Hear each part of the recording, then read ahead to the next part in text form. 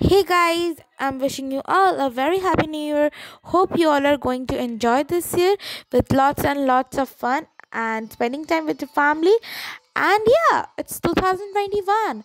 It's a time when we all will get over all these kinds of infections like COVID 19